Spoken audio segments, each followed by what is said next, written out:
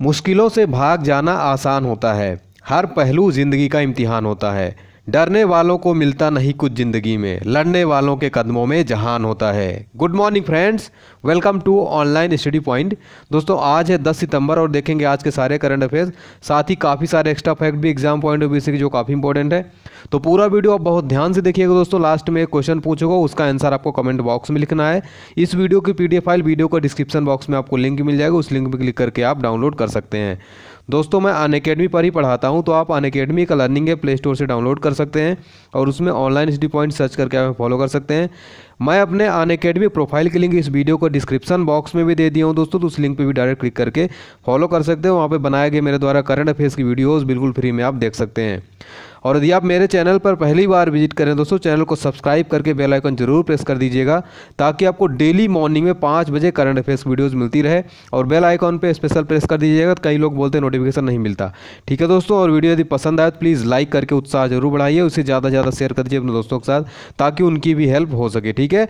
चलिए स्टार्ट करते हैं आज करंट अफेयर्स। बहुत ध्यान से देखिएगा, काफ़ी इंपॉर्टेंट क्वेश्चन है। पहला क्वेश्चन दोस्तों, आरबीआई द्वारा जारी आंकड़ों के अनुसार जीडीपी का चालू खाता घाटा कितने प्रतिशत तक बढ़ा है। दोस्तों, ये क्वेश्चन बैंकिंग एग्ज़ाम के लिए बहुत स्पेशल है।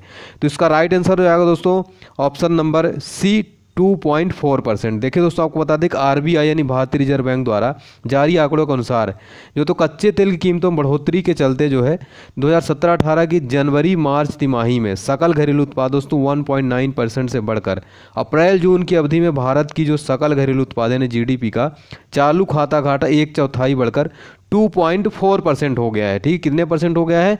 2.4 परसेंट। दोस्तों, यहाँ पे बात आ रही है जीडीपी की। तो जीडीपी क्या होता है? इससे आपके मन में क्वेश्चन चल रहा होगा तो मैं आपको जीडीपी के बारे में बता देता हूँ। दोस्तों, ध्यान से सुनिएगा। अक्सर ये टर्म बैंकिंग और रेलवे एग्ज़ाम में पूछा जाता है एसएससी एग्ज़ाम में।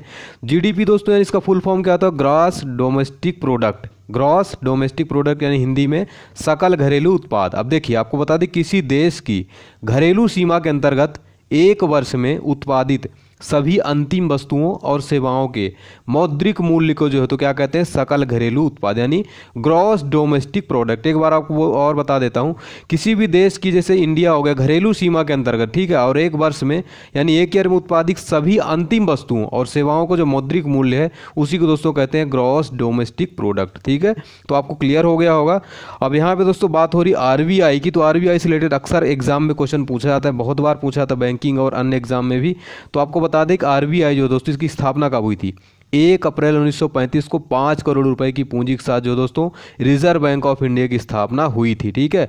इसके अलावा दोस्तों, यहाँ पे क्वेश्चन बनता है कि आरबीआई जो है तो किसकी अनुशंसा पर इसकी स्थापना हुई थी? हिल्टन यंग आयोग की अनुशंसा पर जो तो आरबीआई का जो तो राष्ट्रीयकरण एक जनवरी उन्नीस सौ उनचास को किया गया था। ठीक है, कब किया गया था राष्ट्रीयकरण? हिल्टन यंग आयोग की अनुशंसा पर एक जनवरी उन्नीस सौ उनचास को, ठीक है 1949 में। और इसका जो मुख्यालय है दोस्तों, वो कहाँ स्थित है? मुंबई में स्थित है। ठीक है हेडक्वार्टर कहाँ है? मुंबई में। ठीक है, और बता दें आपको आर बी आई के जो प्रथम गवर्नर थे, वो थे ओसवार स्मिथ। कौन थे? आर बी आई के पहले गवर्नर ओसवार स्मिथ। और जो वर्तमान में गवर्नर हैं आर बी आई को कौन है? डॉक्टर उर्जित पटेल हैं। ठीक है? और आपको बता दें स्वतंत्रता के समय आरबीआई के जो गवर्नर थे, वो थे सी डी देशमुख। स्वतंत्रता के समय आरबीआई गवर्नर कौन थे? सी डी देशमुख थे। और आरबीआई के जो प्रथम गवर्नर थे, ओसवान स्मिथ और वर्तमान में डॉक्टर उर्जित पटेल हैं, ठीक है?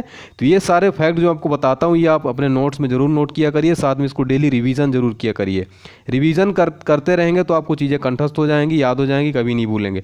और डेली आप मॉर्निंग में पाँच बजे टाइम निकाले करंट अफेयर्स की वीडियो ज़रूर देखा करें, क्योंकि आपके करंट अफेयर्स के साथ साथ में आपका जो है तो ये जीके वाला जो सेक्शन है, वो भी आपको कंप्लीट करा देता हूँ, एक्स्ट्रा फैक्ट बता देता हूँ, ऐसी चीज़ें बताता हूँ दोस्तों जो आपको किसी बुक्स में भी नहीं मिलेंगी। ठीक है, काफ़ी जो है सर्च करके इंटरनेट पर सर्च करके मैं आपको चीज़ें तो बताता हूँ। तो प्लीज़ आप ज़रूर देखा करें और वीडियो यदि आपको अच्छी लगा करें दोस्तों प्लीज़ उत्साह बढ़ाने के लिए मोटिवेशन बढ़ाने के लिए सपोर्ट करने के लिए एक लाइक कर दिया करिए दोस्तों। आप लोग लाइक करने में कंजूसी करते हैं। यदि मैं आपके लिए इतना वीडियोज़ बनाता हूँ तो आप लोगों को लाइक करने में क्या जाता है? तो आज टारगेट रखते दोस्तों पंद्रह हज़ार लाइक्स को तो प्लीज़ सभी लोग फटाफट लाइक कर दे। वीडियो पूरा देखिएगा तो पसंद आए तो लाइक करके जाइएगा और इस वीडियो को जितना ज़्यादा हो सके शेयर कर दीजिए, ठीक है? चलिए नेक्स्ट क्वेश्चन की तरफ़ बढ़ते हैं दोस्तों। अगला क्वेश्चन है हाल ही में आयुष्मान भारत कॉल सेंटर का उद्घाटन कहाँ हुआ है?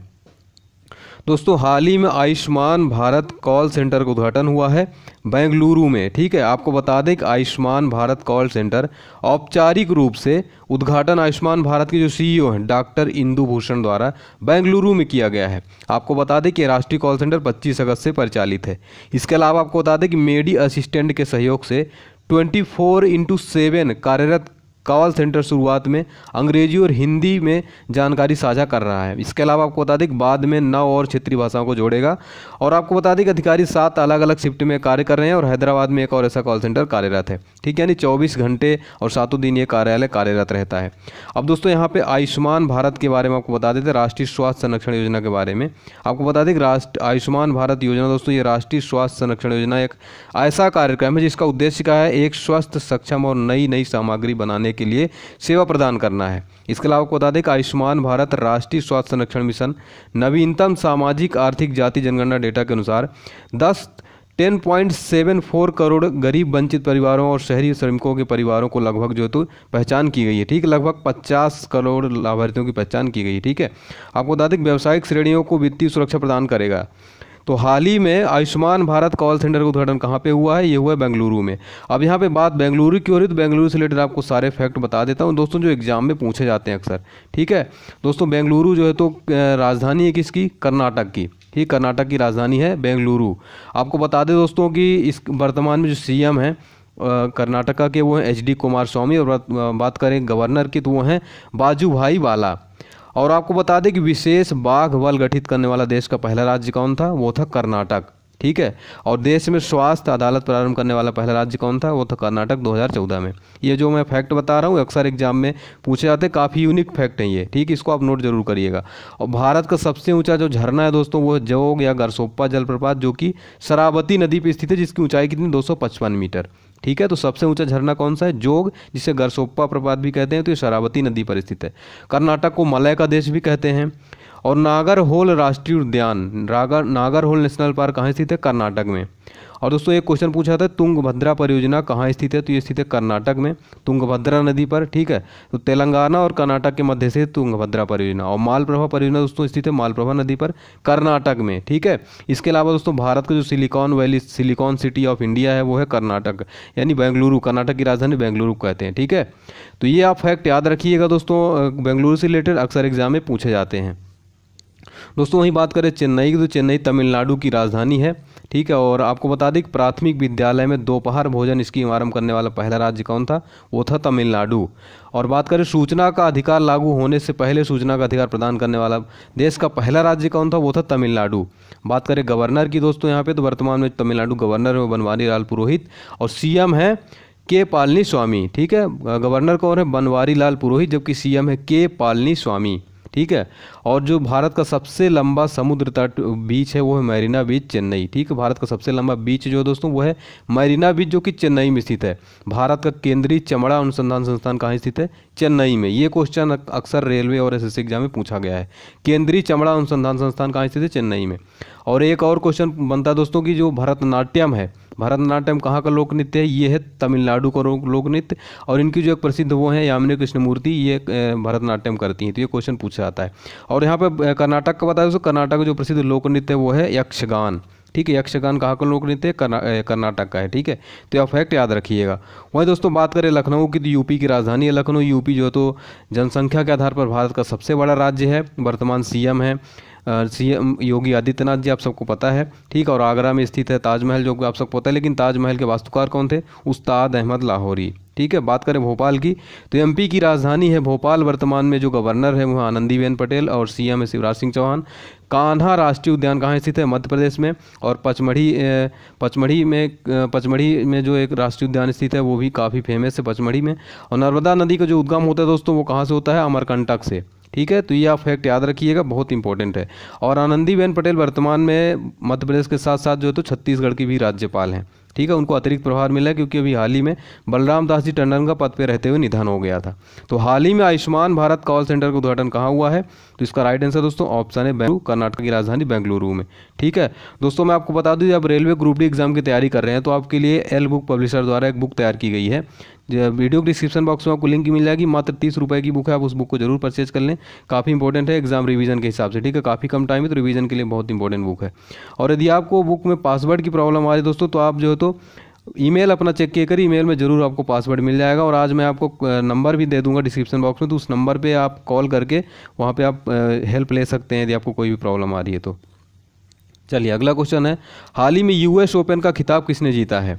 दोस्तों, हाल ही में यू एस ओपन खिताब किसने जीत लिया है? इसका राइट आंसर हो जाएगा ऑप्शन ए नाओमी ओसाका ठीक है, आपको बता दें कि नाओमी ओसाका का यूएसए ओपन के फाइनल में सेरेना विलियम्स पर शानदार जीत दर्ज कर ग्रैंड स्लैम का खिताब जीतने वाले पहली जापानी महिला बन गई। ठीक है नाओमी ओसाका और इन्होंने यूएस ओपन के फाइनल में किसको हराया? सेरेना विलियम्स को। और इन्होंने जो है तो ये पहली जापानी महिला बन गई। आपको बता दें, कोसाका ने पहले सेट में आक्रामक शुरुआत की और छः बार की यूएस ओपन चैंपियन को दो सीधे सेटों पर हराया है। उन्होंने अपनी ज़बरदस्त गति और क्रूर बेसलाइन का इस्तेमाल कर केवल तैंतीस मिनट में सेट को समाप्त कर दिया है। तो हाल ही में यूएस ओपन खिताब किसने जीत लिया है? जापानी जो महिला नाओमी ओसाका सेरेना विलियम्स को हराकर, ठीक है? चलिए नेक्स्ट क्वेश्चन है दोस्तों। एक्सिस बैंक के नए सीईओ के रूप में किसे नियुक्त किया गया तो ये बहुत इंपॉर्टेंट क्वेश्चन है।